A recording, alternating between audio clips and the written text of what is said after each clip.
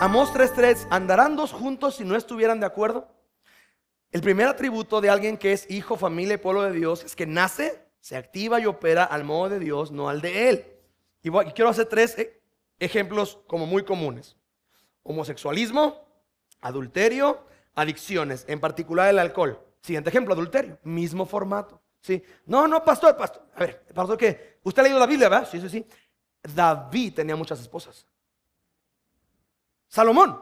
La, Salomón. ¿Salomón era el hombre más sabio? Sí. Salomón tenía muchas esposas y concubinas. Yo soy muy bíblico. Por eso tengo muchas mujeres. ¿Sí? Y tenemos casos reales de hombres con esta filosofía, bíblica o no, que están con dos o tres esposas, vienen a Cristo, Dios les salva, les abre sus ojos de la realidad que el matrimonio es una foto de un diseño, de una relación de amor, Cristo con su iglesia, ¿sí? Y el tema es, pastor, eh, ¿Cuál de mis tres esposas es mi esposa? Y tienes un tema de consejería sumamente rico, pero el tema es, hay una, una disfunción en el cual Dios decía esto y tú decías, no, no, no, no, no, yo adecuo la ley de Dios a mi conveniencia.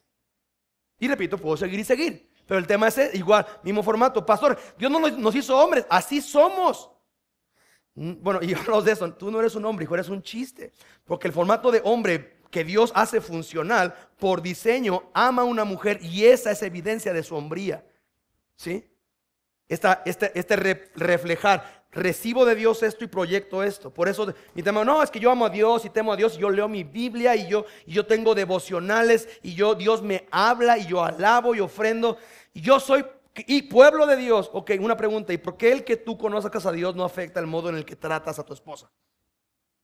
Porque si conoces a Dios, veas la, imagen de Dios invisible que es Cristo y ves cómo Cristo trata a su iglesia, esto sí o sí tiene que afectar el modo en el que hablas, trata, respondes a tu mujer, a fuerza. Mismo formato con mujeres. Apariencia de, en esta iglesia ha habido, gracias a Dios ya se fue, ¿sí? Apariencia de piedad y, y se sabe los versículos, pastor, shalom, gloria a Dios, ore por mí, bla, bla, bla, bla, bla, bla, bla, bla.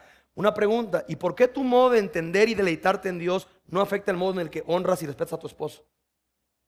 O, el que comunicas acerca de él para con tus hijos. O sea, ¿cómo es posible que lo que tú sabes de Dios y tú eres cristiano no afecta a estas áreas tan obvias de la vida del creyente? ¿Sí? Y es lo que está diciendo aquí esencialmente Pablo. El primer parámetro para que alguien realmente se ubique que es pueblo de Dios, hijo de Dios, esencialmente no es genético o de linaje o de raza, es conforme a la promesa. Dios prometió esto a Abraham, Dios cumplió esto en su forma, en su tiempo, y Isaac llegó a la ecuación conforme al formato de Dios.